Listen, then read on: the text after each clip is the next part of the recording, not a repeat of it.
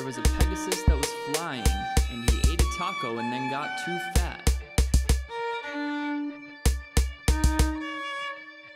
Then he ate Leslie's ram and couldn't move because he got ultra fat mode.